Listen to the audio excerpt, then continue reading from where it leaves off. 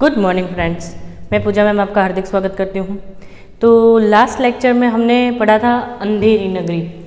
अंधेरी नगरी में हमने देखा था कि अंधेर नगरी किसे कहते हैं।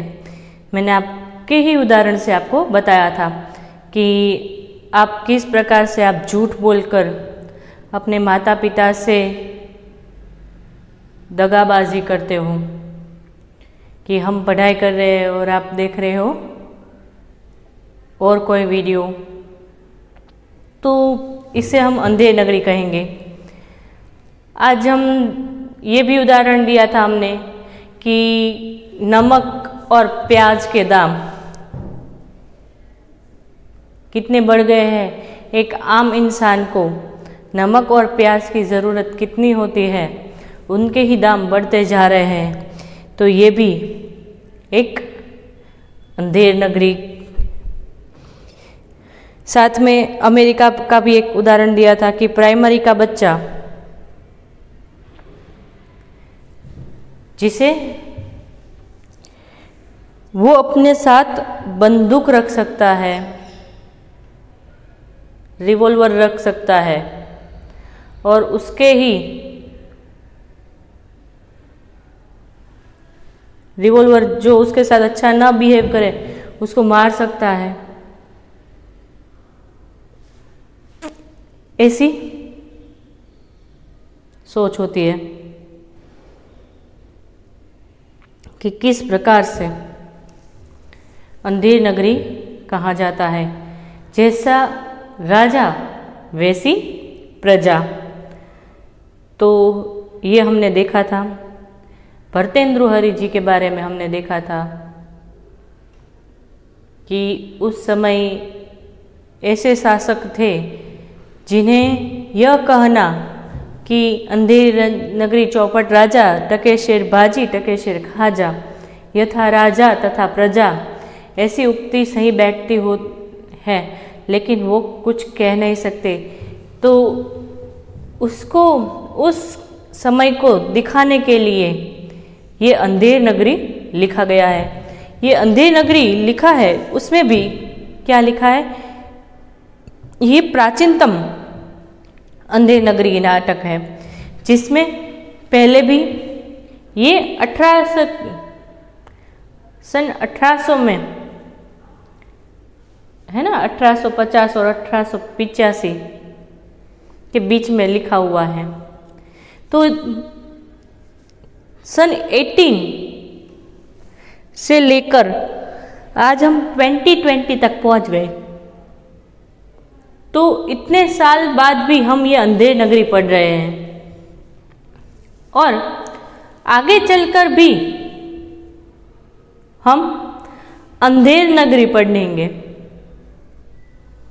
क्योंकि ये उस समय में इतनी बढ़िया सोच थी भारतेंद्र जी की कि उसे पता था कि ये आज और आने वाली पीढ़ियों तक ये याद रहेगी। और हमें भी अगर कुछ याद रहे तो ये रहेगा, अंधेर नगरी चौपट राजा, टके शेर बाजी, टके शेर खाजा। तो ये सारी जो चीज़ें हैं, जो हमें जोड़ कर रखती है, कैसे, कितनी ऐसी कहानियाँ हैं, जिन्हें हमें एकजुट कर रखा है। और उसमें भी हमें बाँध कर रखा है कि किस प्रकार से हम आने वाली पीढ़ियों को सुधार सकें। इस कहानी पर से, इस एकांकी पर से हमें ये सीख लेनी है कि हमें भी इस अंधेर नगरी में शामिल नहीं होना है। क्योंकि हमें करप्ट नहीं होना है। यदि हम बात करें हाल के प्रधानमंत्री की तो आप देख लो, किसी भी राज्य के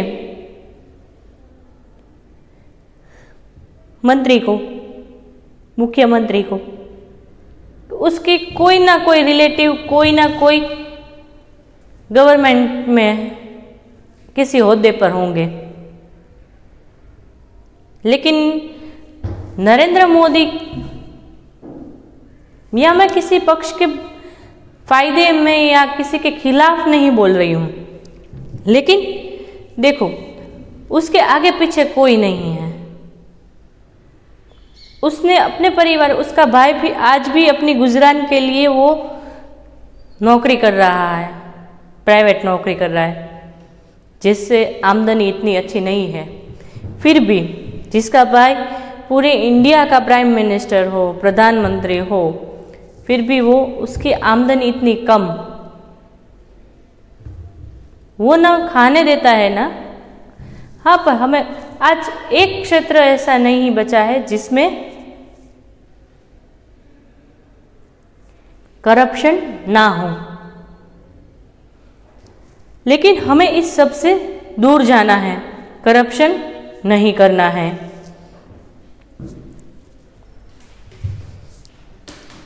भरतेंद्र हरि जी के बारे में हमने पढ़ा था, फिर भी एक बार आज हम फिर से रीड कर लेंगे।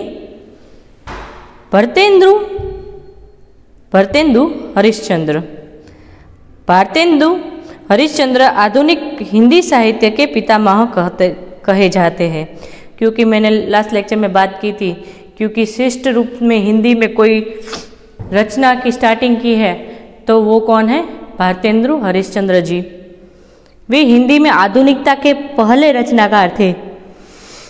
इनका मूल नाम हरिश्चंद्र था। भारतेंदु उनकी उपाधि थी। पेट नेम हिंदी साहित्य में आधुनिक काल का प्रारंभ भारतेंद्र हरिश्चंद्र से माना जाता है। भारतीय नवजागरण के अग्रदूत के रूप में प्रसिद्ध भारतेंदु जी ने देश की गरीबी, पराधीनता, शासकों के अमानवीय शोषण के चित्रण को ही अपने साहित्य का लक्ष्य बनाया। हिंदी को राष्ट्रभाषा के रूप में प्रतिष्ठित करने की दिशा में उन्होंने अपनी प्रतिभा का उपयोग किया। भरतेंद्र बहुमुखी प्रतिभा के धनी थे। हिंदी पत्रकारिता, नाटक और काव्य के क्षेत्र में उनका बहुमूल्य योगदान रहा। हिंदी में नाटकों का प्रारंभ भारतेंदु हरिश्चंद्र से माना जाता है। भारतेंदु ने हिंदी नाटक की नींव को सुदृढ़ बनाया। है उन्होंने हरिश्चंद्र पत्रिका, कवि वचन सुधा और बाल प्रबोधिनी पत्रिका का संपादन भी किया है। वे एक उत्कृष्ट कवि, सशक्त, व्यंग्यकार, सफल नाटककार, कवि वचन सुधा और बाल प्रबोधिनी पत्रिका का संपादन भी किया है। वे एक उत्कृष्ट कवि, सशक्त, व्यंग्यकार, सफल नाटककार, जागरूक पत्रकार, ओजस्वी गद्यकार थे। इनके अलावा वे लेखक, कवि, संपादक, निबंधकार एवं कुशल वक्ता भी थे। इनकी प्रमुख रचनाएँ भारतेंदु कला, वैदिक, वैदिकी हिंसा हिंसा न भवती, सत्य हरिश्चंद्र, भारत दुर्दशा, अंधेर नगरी, नाट्य साहित्य, पूर्ण प्रकाश, चंद्रप्रभा उपन्यास, स्त्रियों की उत्पत्ति, बादशाह दर्पण, नाट्यशास्त्र, काश, कश्मीर कुसुम, रामायण का समय, शोध रचना, सुंदरी सिलक, पावस, कविता संग्रह, काव्य आदि। भारतेंदु जी ने मात्र 34 वर्ष की अल्प आयु में ही विशाल साहित्य की रचना की। 35 वर्ष की आयु में उन्होंने मात्र और, मात्रा और गुणवत्ता की दृष्टि से इतना लिखा, इतनी दिशाओं में काम किया कि उनका समूचा रचना कार्य पथदर्शक बन गया। आपका महान साहित्यिक कर्म देव शक्ति से प्रेरित ही माना जाएगा। तो ये थे भारतुन, भारतेंद्रु, दु, हरिश्चंद्र जी के बारे में। अब इस एकांकी में क्या कहा है, उसके बारे में हम पढ़ते हैं। एकांकी मतलब वन प्ले एक्ट जो हमने पहले भी आपको बता दिया था। प्रस्तुत एकांकी में महंत और उनके दो शिष्य एक नगरी में पहुँचते हैं, जहाँ मूर्ख राजा और मूर्ख प्रजा से उनका पाला पड़ता है। नगरी सर्वत्र अज्ञान का अंधकार था। अनुशासन रहित विवेकहीन प्रजा में किसी से प्रेम, आत्मीयता का नामो निशान दिखाई नहीं देता था। अच्छे बुरे में अंतर नहीं और सच झूठ का ज्ञान नहीं। भाजी का मूल्य और खाजे का मूल्य एक टका। यथा राजा तथा प्रजा कहावत के अनुसार राजा को भी मूर्ख और मूर्ख और प्रजा भी मूर्ख। ऐसे लोग अपनी मूर्खता के कारण, अपने विनाश का कारण बन जाते हैं। अंधेरी नगरी, एकांकी से लेखक, पाठकों को इसी अविवेकी, अज्ञानी वृत्ति से परिचित करवाकर इससे बचने की प्रेरणा देते हैं। तो सबसे पहले हमें, मैंने आपको होमवर्क दिया था कि कहावत, शब्दार्थ, मुहावरे तो यहाँ पे एक शब्द दिया गया है कि यथा राजा तथा प्रजा। यथा राजा तथा प्रजा। कहावत है।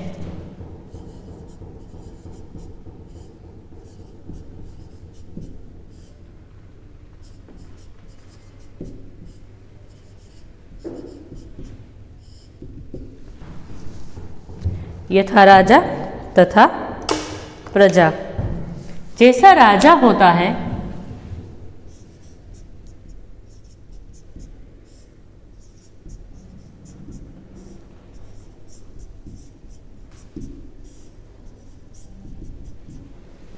जैसा राजा होता है ठीक।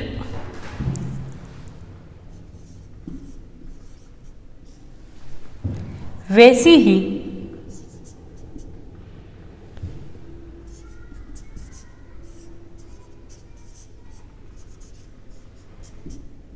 प्रजा होती है।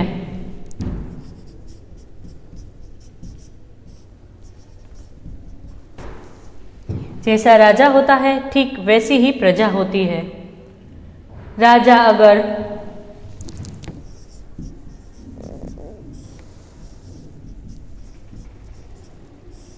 राजा अगर नीतिमान होते हैं,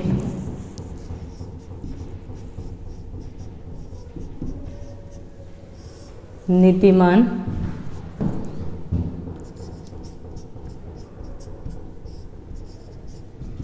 होते हैं। तो उसकी प्रजा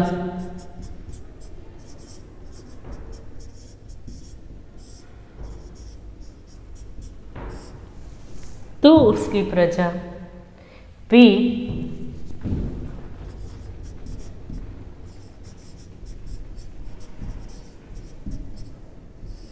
नीतिपूर्ण होती।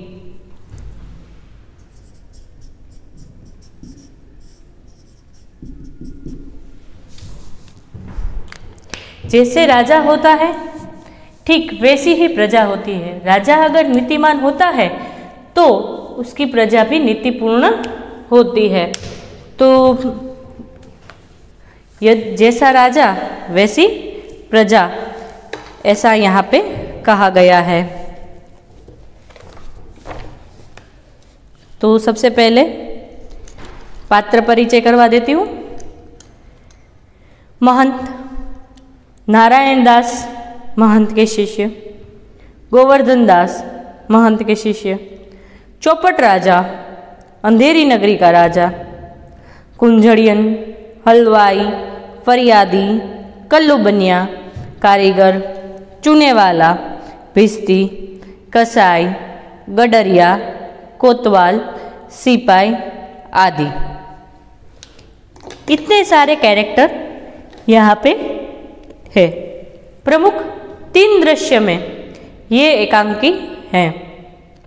पहले दृश्य में राजा सॉरी महंत और अपने दो शिष्य अंधेर नगरी पहुँचते हैं वहाँ पे भिक्षा लेने के लिए। दूसरे दृश्य में कल्लू बनिए की दीवार गिरकर बकरी मर जाती है। उनकी बात है और किस प्रकार से सभी एक दूसरे पर आरोप लगाते हैं? और अंत में, जिसका कोई गुनाह ही नहीं है, वैसा गोवर्धन दास उसको फांसी पर चढ़ाया जाता है। और गोवर्धन दास को फांसी पर चढ़ाया जाता है। उसी प्रकार, फिर तीसरे दृश्य में, किस प्रकार गुरु जी अपने चेले गोवर्धन दास को फांसी से बचा देते हैं और किस प्रकार राजा खुद फांसी पर चढ़ जाता है, उसके बारे में हमें यहाँ पे बताया गया है। तो प्रमुख तीन दृश्य है। पहला दृश्य हम देखते हैं। स्थान। शहर के बाहर सड़क। महंत जी और दो चेले बातें कर रहे हैं। महंत।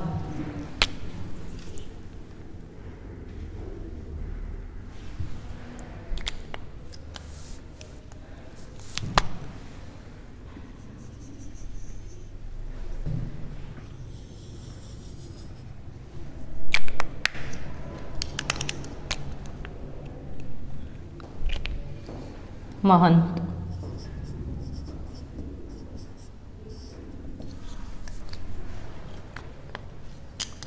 मठ का प्रधान।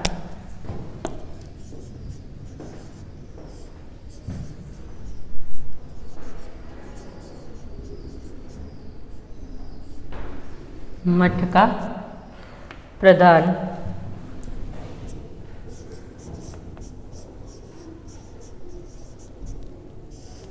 मुखिया।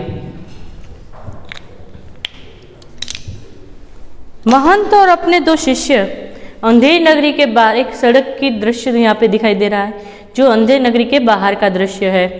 और वहाँ से हमारी एकांकिका स्टार्टिंग होता है।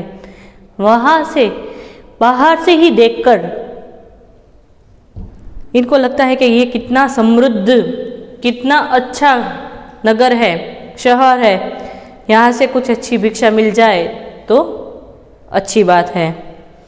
महंत बच्चा नारायण दास, यह नगर तो दूर से बड़ा सुंदर दिखाई पड़ता है। देख, कुछ भिक्षा मिले तो भगवान को भोग लगे।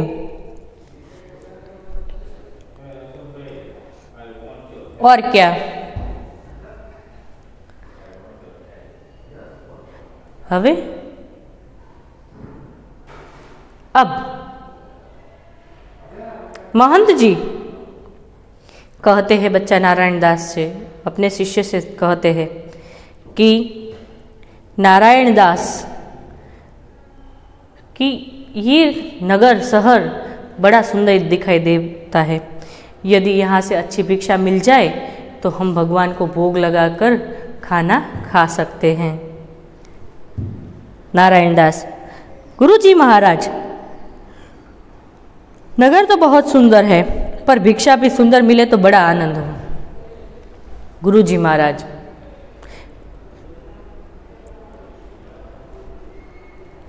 नगर तो बहुत सुंदर है, नारायण दास कहता है, नगर तो बहुत सुंदर है गुरु जी यहाँ के लोग भी अच्छे हो और अच्छी भिक्षा मिल जाए तो और बड़ी बात है। बच्चा गोवर्धन दास तो पश्चिम की ओर जा और नारायण दास पूर्व की ओर जाएगा, गोवर्धन दास जाता है। दोनों साइड, दोनों शिष्य को भेज दिया कि इस साइड तू जा और इस साइड तू जा। किसी को किसी को भी अच्छी, क्या? भिक्षा मिल जाए तो वो अच्छी बात है। गोवर्धन दास जाता है। कुंजड़ियन से, क्यों बाजी क्या भाव? कुंजड़ियन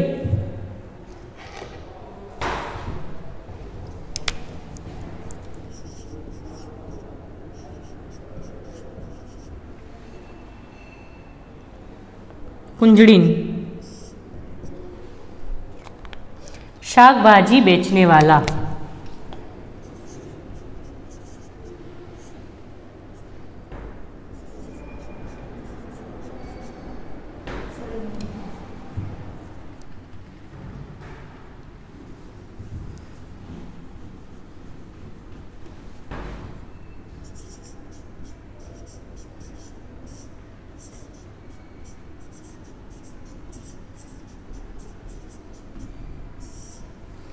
साग भाजी बेचने वाला।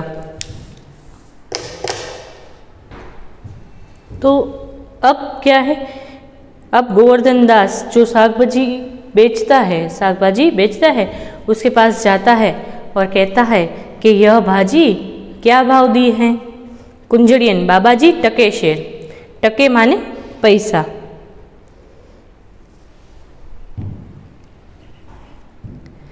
सब भाजी टके शेर। वाह वाह, बड़ा आनंद है। यहाँ भी सभी चीज़ें टके शेर? कि एक पैसे में सारी चीज़ें? वाह वाह, बड़ी अच्छी बात है। फिर वो बस में हलवाई के पास जाता है। क्यों भाई, मिठाई क्या भाव? टके शेर। भाजी, जो भाजी लेते हैं हम। सब्ज़ी। साग भाजी जो लेते हैं, उसमें और हलवाई में, मिठाइयों में अंतर तो है ना? प्राइस में डिफरेंस है? हाँ तो यहाँ पे कोई डिफरेंस नहीं है। भाजी भी टके शेर और मिठाइयाँ भी टके शेर वाह वाह, बड़ा आनंद है। सब टके शेर क्यों बच्चा? इस नगरी का नाम क्या है? अंधेरी नगरी। इसके राजा का नाम क्या है? कि चौपट राजा। वाह वाह, अंधेरी नगरी, चौपट राजा, टकेशेर बाजी टके टकेशेर खाजा। तो बाबूजी, कुछ लेना है तो ले लो। बच्चा भिक्षा मांगकर सात पैसे लाया हूँ, साढ़े तीन शेर मिठाई दे दो। महंत जी और नारायण दास एक ओर से आते हैं और दूसरी ओर से गोवर्धन दास आता। उसको तो बड़ा आनंद हो गया। सात पैसे मिले थे। और सात पैसे में से साढ़े तीन शेर मिठाई गोवर्धन दास ने ले ली। और एक साइड से महंत जी और नारायण दास, जो दूसरा शिष्य था, वो एक तरफ़ से आ रहे हैं और दूसरी तरफ़ से गोवर्धन दास अपनी गठरी में तीन शेर मिठाइयाँ लेकर आ रहा था। एक बार फिर से देख लेते। एक महंत अपने दोनों शिष्यों के साथ अंधेरी नगरी में आता है। शिष्यों के नाम गोवर्धन दास और नारायण दास था। महंत और शिष्य को नगर बहुत सुंदर लगा था। भिक्षा अच्छी मिलेगी ऐसी कामना से वो उस नगर में जाते हैं। उस नगर में जाकर ही उन्हें भिक्षा लेना एक नारायण दास और महंत जी साथ में जाते हैं। और गोवर्धन दास दूसरी ओर भिक्षा लेने के लिए जाता है। गोवर्धन दास बाज़ार में जाता है और वहाँ पे भाजी और मिठाई का भाव पूछने पर पता चलता है कि सब यहाँ पे टके शेर ही मिलता है। और इस नगरी इस नगरी का नाम अंधेरी नगरी और इसके राजा का नाम चौपट राजा बताया गया था। एक बार आप यहाँ तक फटाफट रीड कर लो एक बार।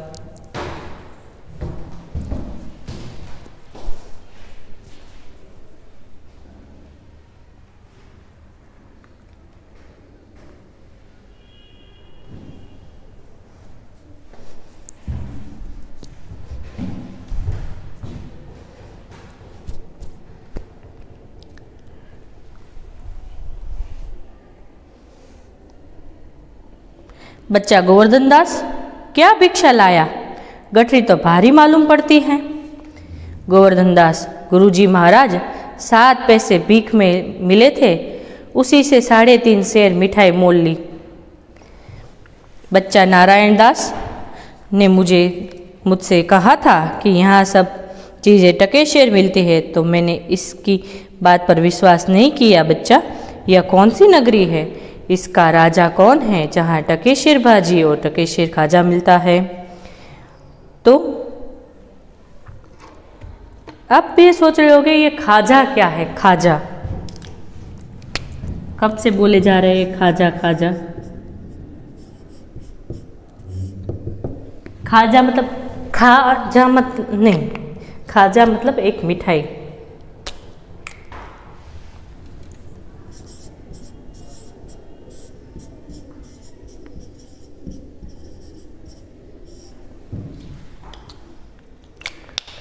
टका।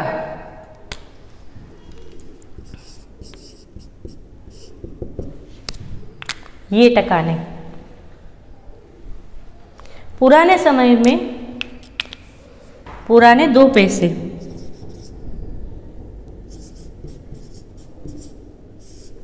पुराने दो पैसों।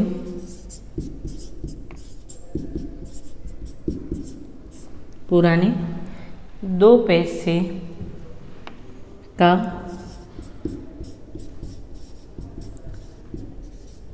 सिक्का।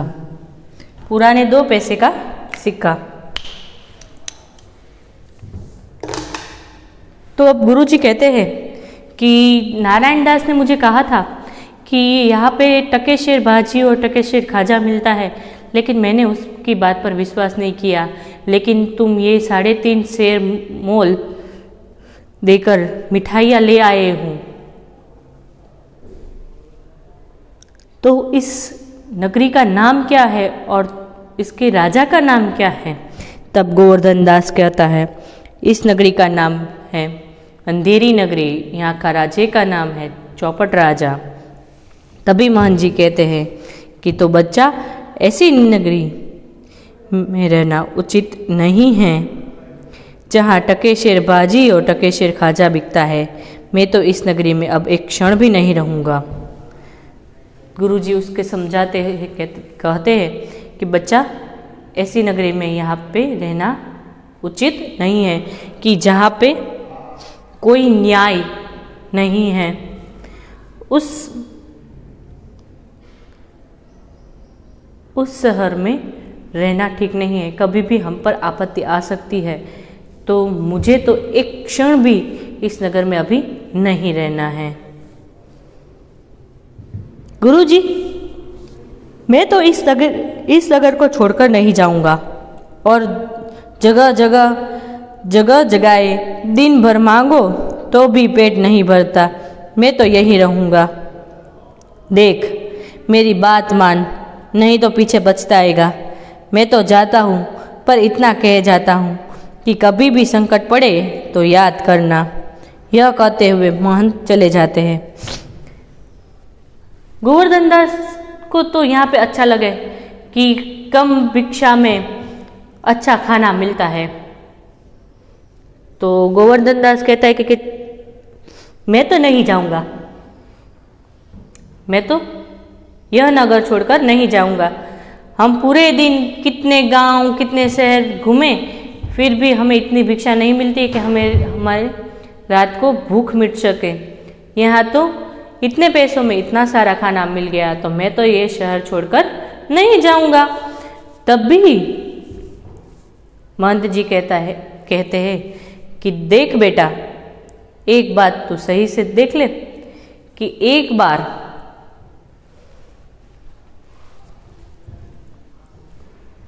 देख ले कि बेटा, तू पीछे पछताएगा तुझे मेरी याद आएगी। मेरे बोल याद आएँगे कि मैंने मना किया था कि यहाँ मत रहे मत रहे, लेकिन तू माना नहीं।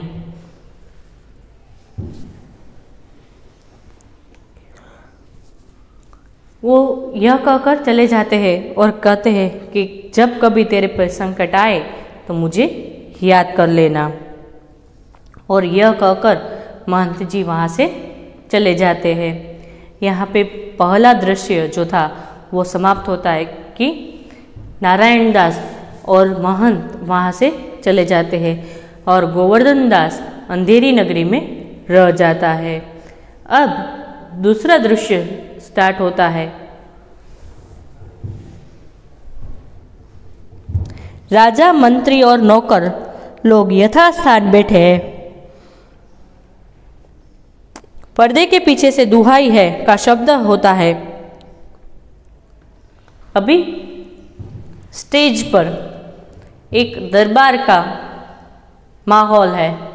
राजा बैठा है, मंत्री बैठे हैं, नौकर है। सब लोग सही जगह पर बैठे हुए हैं। चर्चा विचारणा चल रही है और इसमें पीछे से आवाज़ है, आई, दुहाई है दुहाई है। तो राजा तुरंत ही बोलता है, कौन चिल्लाता है? उसे बुलाओ तो। दो नौकर एक फरियादी को लेकर आते हैं। ये कौन चिल्ला रहा है? उसे बुलाकर लाओ। राजा ऐसा फरमान करते हैं। दुहाई, महाराज, दुहाई। राजा, बोलो, क्या हुआ? फरियादी, महाराज, कल्लू बनिए की दीवार गिर पड़ी। सो मेरी बकरी उसके नीचे दब गई।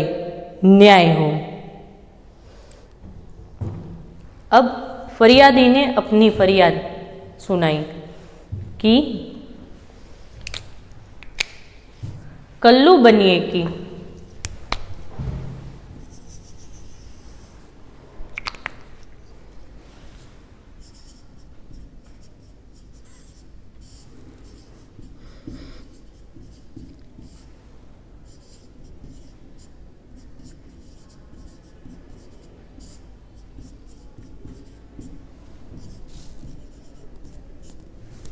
कल्लू बनिए की दीवार गिर गई।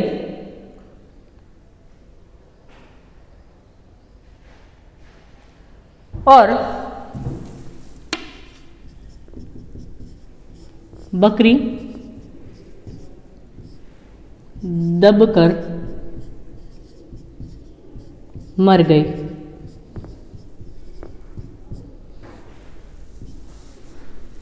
फरियादी।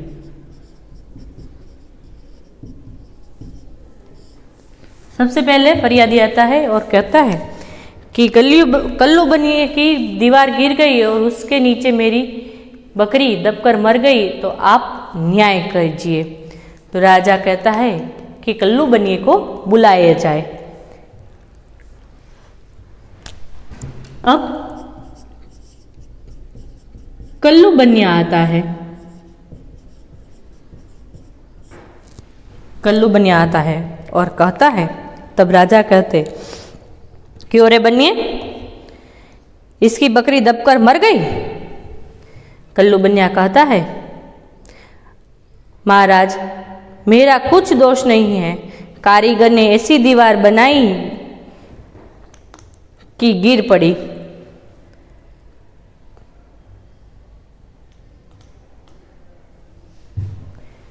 तो बनिए ने कहा कि महाराज, मेरा कोई कसूर नहीं है। मैंने तो कारीगर मंगवाए थे।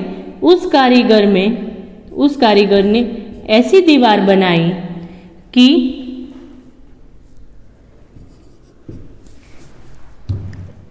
ऐसी दीवार बनाई कि वो गिर पड़ी। तो राजा कहता है, बनिए को छोड़ दो, कारीगर को बुलाओ। तो अब कारीगर को बुलाया जाता है।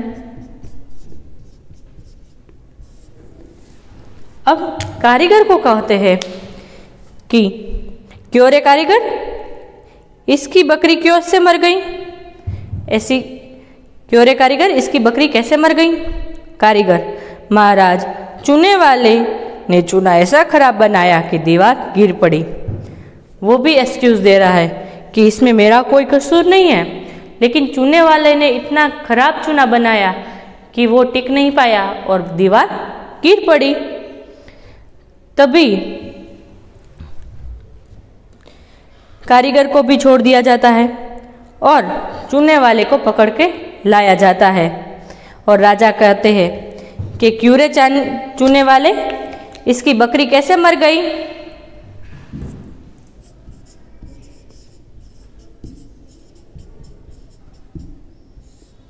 वो कहता है कि चूने वाले, इसकी बकरी कैसे मर गई?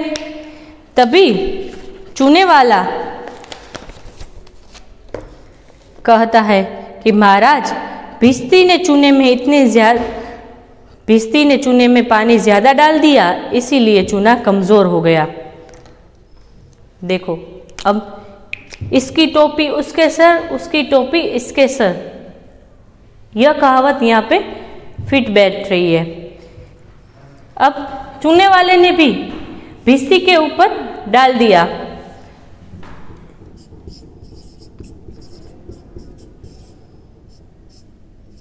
भिस्ती कैसे कहेंगे? कि मशक में।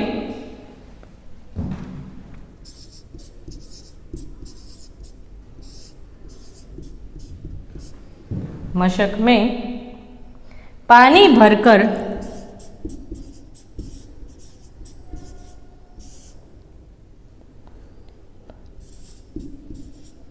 पानी भरकर घर घर पहुँचाने वाला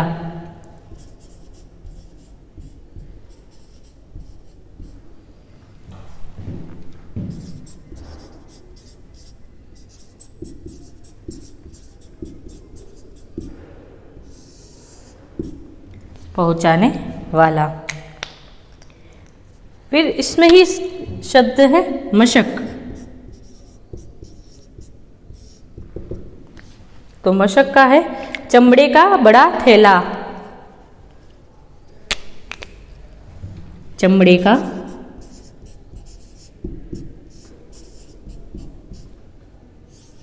बड़ा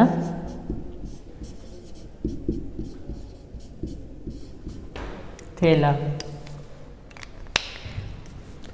तो चूने वाला ने भिस्ती के, बोल दिया कि भिस्ती ने चूने में ज़्यादा पानी डाला, इसलिए चूना कमज़ोर हो गया, इसलिए दीवार गिर गई। तो राजा ने चूने वाले को भी छोड़ दिया और भिस्ती को बुलाने को कहा। अब भिस्ती आया तो भिस्ती को भी कहा, क्यों रे भिस्ती ये कैसे कैसे बकरी मर गई? क्यों रे भिस्ती इतना पानी क्यों डाल दिया कि दीवार गिर पड़ी और दब, बकरी दबकर मर गई? पिस्ती ने अभी कहा, महाराज, गुलाम का कोई कसूर नहीं है। कसूर, अपराध।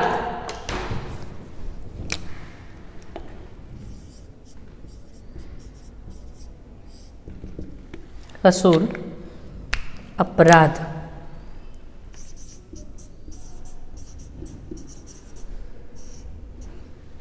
कि गुलाम का कोई अपराध नहीं है।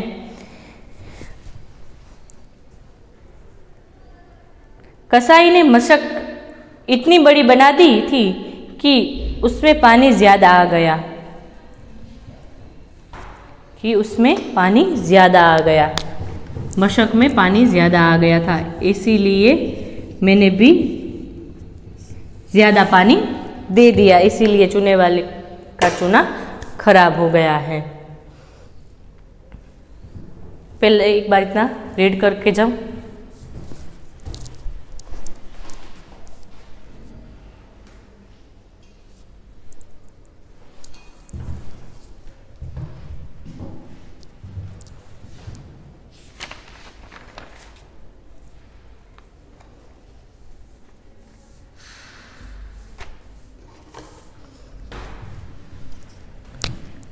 इसके बीच एक और कहावत आ गई।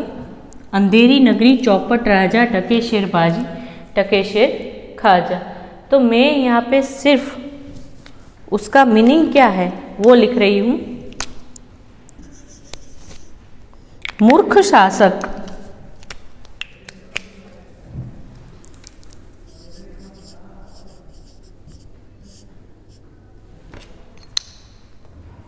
मूर्ख शासक के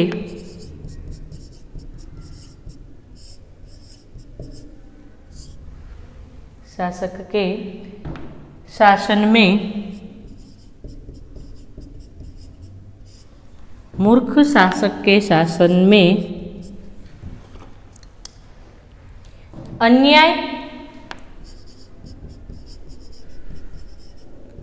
और अव्यवस्था। अव्यवस्था होती है।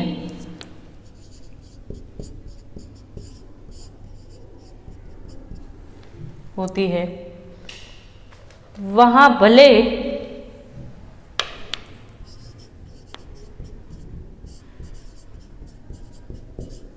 वहाँ भले बुरे सम बुरे सब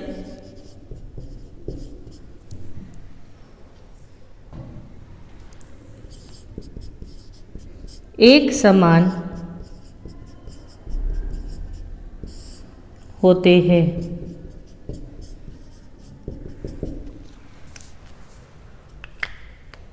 एक समान समझे जाते हैं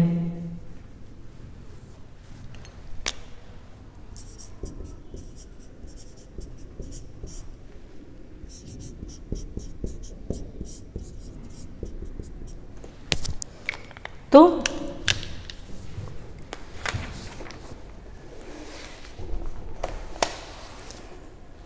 अब तक हमने क्या पढ़ा वो हम देख लेते हैं कि गुरु शिष्य एक नगर में आते हैं, बाहर से नगर बड़ा सुंदर दिख रहा है।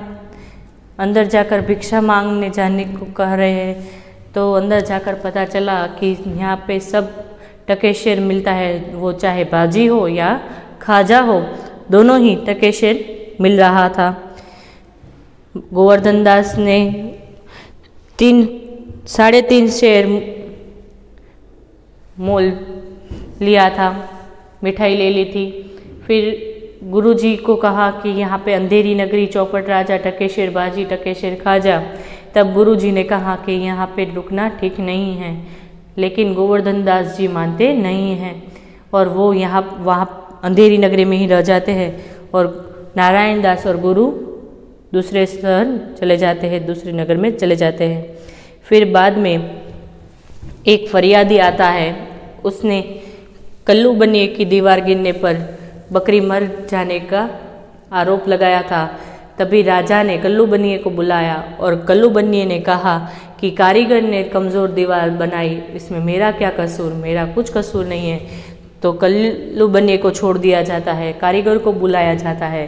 कारीगर को बुलाया तो कारीगर वाला ने कारीगर ने कहा कि चूने वाले ने चूना, चूने में पानी ज़्यादा डाल दिया था, इसलिए चूना खराब बन गया था। तो चूने वाले को भी छोड़ दिया जाता है और कारीगर को छोड़ दिया जाता है, चूने वाले को बुलाया जाता है। चूने वाले ने कहा कि भिस्ती ने मशक में ज़्यादा पानी दे दिया और ज़्यादा पानी देने के बाद इस, ज़्यादा पानी के लिए ज़्यादा पानी दे दिया। इसके कारण चूना कमज़ोर बन गया और दीवार गिर पड़ी। अब यहाँ तक हमने पढ़ा। तो यहाँ पे तक हमने पढ़ा उसमें अब आगे पिस्ती को भी पिस्ती ने, ने कहा पिस्ती को भी कहा कि पिस्ती ने कहा कि इसमें मेरे पिस्ती को बुलाया गया कि, कि पिस्ती तूने इतनी बड़ा इतना ज़्यादा पानी क्यों डाल दिया? तो पिस्ती ने भी कहा कि मेरा कोई कसूर नहीं है कि कसाई ने इतनी बड़ी मशक दे दी थी कि इसमें ज़्यादा पानी आ गया था। तो अब भिस्ती ने भी कसाई के ऊपर आरोप डाल दिया है। तो यहाँ तक हमने पढ़ा। तो आज हम यहाँ तक रखते हैं।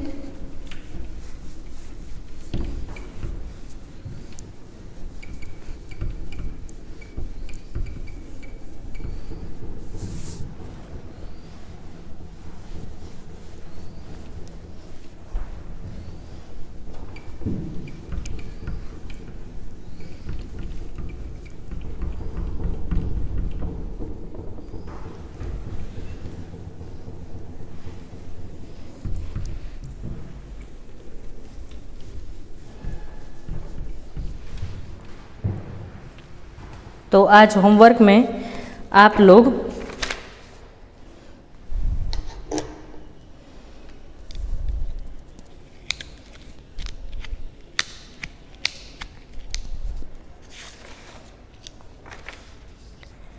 स्वाध्याय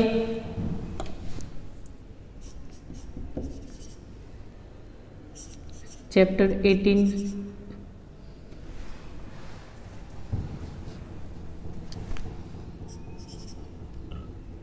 स्वाध्याय के प्रश्न नंबर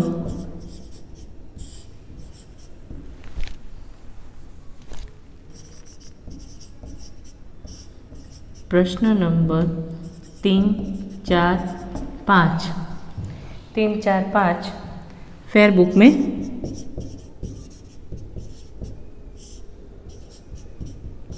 लिखो।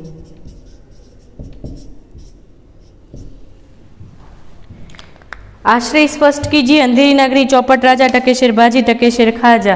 तो वो तो मैंने यहाँ पे लिख ही दिया था। राजा के जीते जी, कौन स्वर्ग जा सकता है? हमें फांसी चढ़ा दो, जल्दी करो। तो वो सबसे बड़ा मूर्ख था। सही शब्द चुनकर वाक्य पूर्ण कीजिए। तो वहाँ पे आपको ऑप्शन दिए ही गए हैं। तो उसमें से देखकर आपको लिखना है। फिर शब्द समूह के लिए एक शब्द, वो भी आपको शब्दार्थ में से मिल ही जाएँगे। तो आज हम यहाँ तक रखेंगे। नेक्स्ट लेक्चर में इस चैप्टर की पूर्णाहुति हम करेंगे। तब तक के लिए मुझे आज्ञा दीजिए। Good bye and have a nice day